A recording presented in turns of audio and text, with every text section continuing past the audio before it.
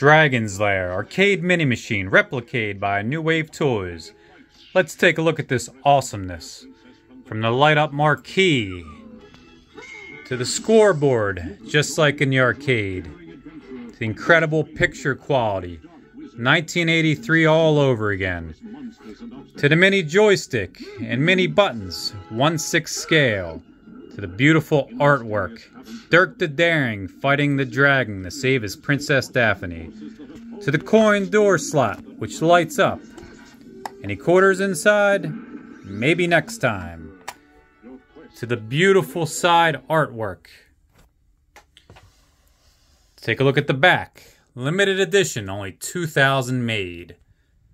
Dual speakers, rechargeable battery, different ports, and inside we actually have a mini Laserdisc player and tokens.